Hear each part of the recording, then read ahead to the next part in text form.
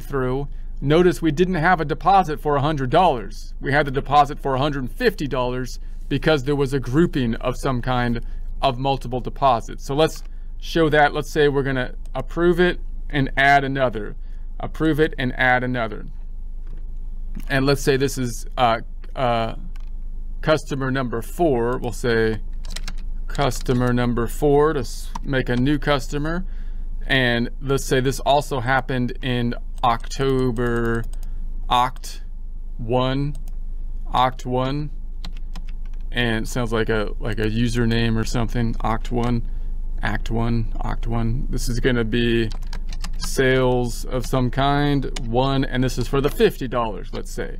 So now the two of these sales add up to the 150. This is going to increase the accounts receivable, and the other side is going to go to revenue. Uh, so let's go ahead and say approve it, and let's check it out then. Let's check it out. As soon as I get the green, go ahead. There it is. The green has told me I can move forward. So if I go into the accounts receivable, into the A to the R, the A accounts to the receivables, the R, as the pirate calls it, R, the R account. There's the uh, 50 and the 100, adding up to that 150. If I go back up and I go to my income statement, now we recorded the revenue when we did the work. So the revenue is already recorded, even though we haven't yet got the money. It went into the sales account here. And if I check that out, checking it out right now, man. Checking it. There it is. And there it is. So revenue went up. MUI B to the N. Now we're also tracking this AR because we have to collect on the accounts receivable. That's the accrual component. Accounts receivable is an accrual account. Cash isn't involved with it. If it was a cash-based system, we wouldn't have AR, but we have to have AR in certain industries because we have to track who owes us the money. So if I go back to the first tab, I can I can track internally in the AR with the business drop down invoices and we can then see we have these awaiting payment items. These are the ones awaiting payment. Uh, and so we can kind of track those out here. We can also track it by going to our contacts and look at our uh, customers. And we can see the outstanding balances, the outstanding balances. These, these balances are outstanding. Uh, that's not a good thing. That's not a good. But what do you mean? They're outstanding. Anyways, uh, so these are our outstanding deposits. So then if I go back into my business drop down and then I go into my invoices, I, the, the point is that when I get a payment, let's imagine that the payment processor or whatever is grouping these two together. So we saw on the bank feeds, it hit the bank feeds as 150. So if I tried to just match these invoices to the bank feeds, I waited till I got paid on the bank feeds. Let's go back into the bank feeds and I, and I look at that 150, it's gonna be a little difficult to tie out uh, these deposits to the bank feeds, back to the reconcile, and then let's find that 150. It's actually 150, but 150 is how you say it when you're cool. That's how cool people say it. So anyways, here's the 150. And then, so it's going to be difficult to match it over here. So if I go over here, I could do it, right? I could go to the matching and say, yeah, that's going to be this and this. And, I, and then boom, you're good to go. You could do that, but normally that's not the most efficient system because that means you're going to have to do like a bunch of work over on on the reconcile. And the reconcile should be the if you have a good accounting system reconciling should be easy. And oftentimes these kind of problems are caused by intermediary uh, systems in there like financial institutions like PayPal's and Stripes and there might be fees involved that kind of mess this up as well.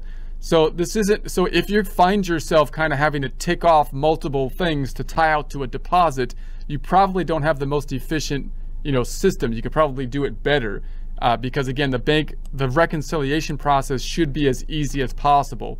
So what would probably be better then is you could say as you get paid, when you when you receive the payments, you can go into your business drop down, invoices, and Xero has this nice system, if I go into the awaiting payment, once we receive payment, to click these two off. Now I can click these two off and uh, make a deposit of both of them now. And I can deposit both of them at the same time uh, for the $150. And that's uh, great because then I can deposit it directly into the checking account and I'm showing 100, the 50 and the 100 detail when I check this out on the customer side, but when it hits the bank, it'll be there at 150 deposit, which will match easily. Xero will probably find it. It'll it'll it'll be able to match automatically. Now, I want to just throw one more wrinkle into this that could happen, and that is that maybe there's fees that are involved. Maybe you have a a PayPal or Stripe that's going to have fees that kind of messes up the invoice to to when you get the payment, uh, or uh, you might have other kind of receipts that you're also receiving through the credit card company or something for for not invoiced items but sales receipt items or receive payment items. If I hit the drop down, receive money. So in that case, you're getting other deposits maybe that aren't simply from invoices that are also being grouped in, or you have fees that you're dealing with.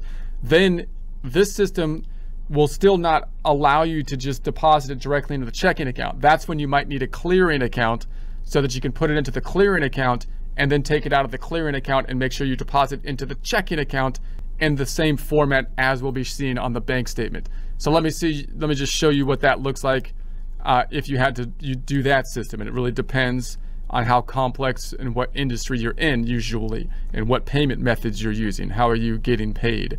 So let's go to our uh, bank accounts. And what I'm going to do is I'm going to add another bank account, but it's just going to be a clearing account. I'm not going to connect it to the bank or anything. So I'm just going to say add another bank account and it's going to try to connect it to the bank feeds. And I'm like, no. Uh, so let's say it was bank. I'm just going to choose the Bank of America. And I'm going to say Bank of America and then it's going to be like do you want to connect to the bank and i'm just going to say no i just really want to set up like an account that's a clearing account but but they don't care about that so you don't have to tell them that but that's what we're doing so then we're going to say the account name is going to be cash clearing account account type i'll just call it uh, other we'll say account number i'm making up a number and US dollars. Mine are in US dollars because I'm in the US and we typically transact using the dollar as the form of transaction, although inflation is destroying it. And uh, at the moment, which is a little frustrating to savers like myself that have worked hard and put them, okay, that you're getting off track. So, so now what I'll do is I'll go back into the business and then we'll go into the invoices and go into the awaiting payment and we'll select these two and I'm going to deposit them into the clearing account. So I'm going to say uh, deposit. Actually, let's do it one at a time so you can kind of see why the clearing account might be. Well, now I'll keep it here. So I'll deposit into the clearing account. Make up your mind my mind doesn't like making up it wants to change stuff all the time